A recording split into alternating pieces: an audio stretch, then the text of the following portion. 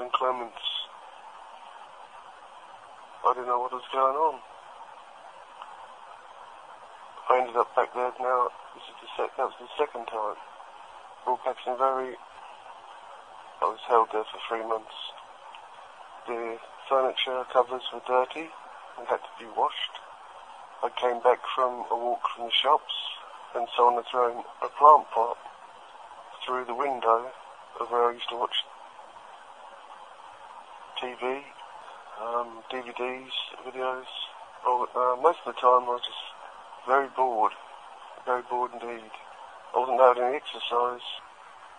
Put in there against my will the second time. And basically I've got a large stomach because of no exercise.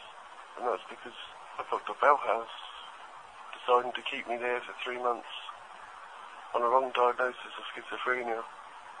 But even the third, the first time I, kept, I stayed there, I didn't get any exercise.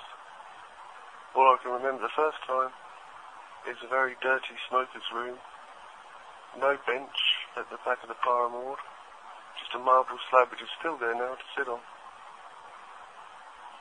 Uh, there was no basketball net and no football court, just a, a bench in the middle of a very small garden area.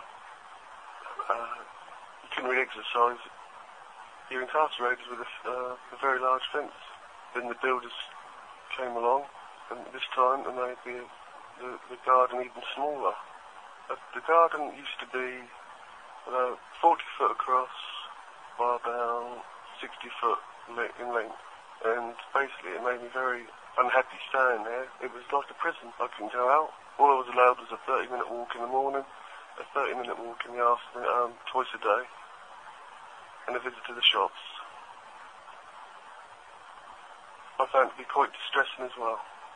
It was a very noisy environment. I had to, I was moved five times from one room to another room to another room, down the corridor, walking backwards and forwards, going into the toilet where the light's constantly on, going into the hallway where the lights are on. I couldn't get much sleep at all. I, um, at the end of it, after a while it became so hard that I had to ask for a Zopiclone, which I didn't really want.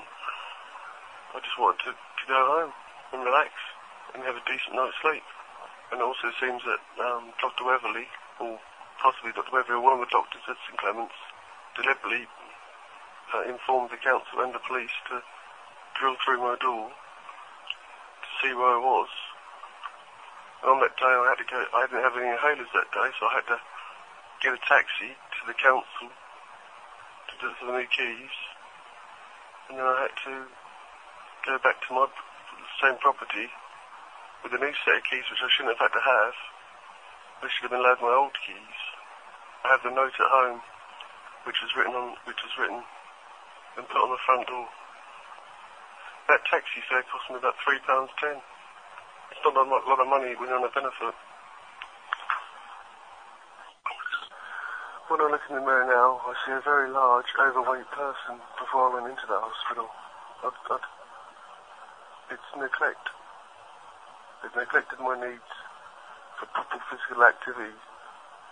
All I was allowed was a half an hour visit to the gym, or maybe 40 minutes. That wasn't enough, because I had to burn off more calories. I was eating too many calories and not burning them off. And my appetite became increasingly hungry because I was bored in there just like the first time.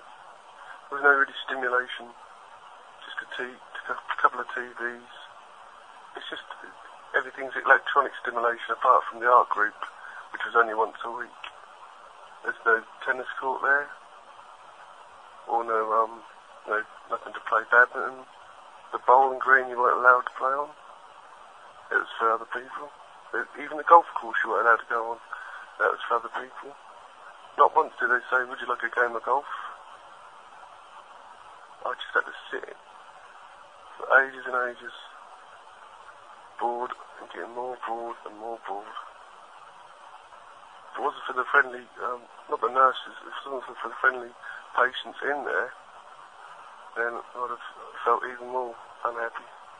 I was held there in summer just at the start, well, it, it started to get very hot around June, uh, basically, I had to keep sitting in a corner in the shade.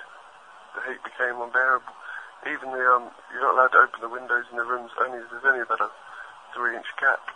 So basically, I didn't like sharing a room with somebody because I, I'm a private person. But basically, you can't rest. If you're, if you're in the back room, it's a large double room, and someone keeps wanting to come in and go out again, how can you sleep when you want, or how can you rest, or how can you read when you want? And obviously, you have to communicate with them and talk to them, otherwise, it's quite rude to ignore somebody. My mental state of mind has never changed. It's been fine since school. I have many, many school reports saying, well done, got on well with people, friendly and polite to talk to people. The first time I went in there, the doctors were trying to find some type of pattern. They brains, they put me onto a, uh, they put me under a, uh, a scanner to scan my brain. I didn't like that either. So all of it was unnecessary. So basically, I have to blame the doctors at St Clements for making me overweight,